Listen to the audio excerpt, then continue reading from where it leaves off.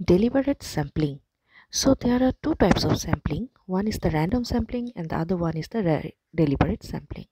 Random sampling are those sampling which is taken at random and there is no chance or any kind of judgment involved or bias involved in this. But the second type of sampling that we have is the deliberate sampling.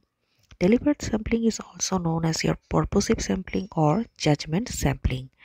Under the process or method of deliberate sampling, we are to take the sample from the universe according to the need and also the desire of the investigator.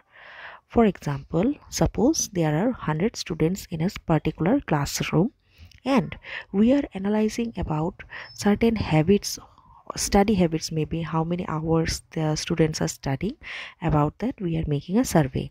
Now in case of deliberate sampling the investigator or the teacher will be choosing only those 10 or 15 students as a sample whom he or she considers that are true.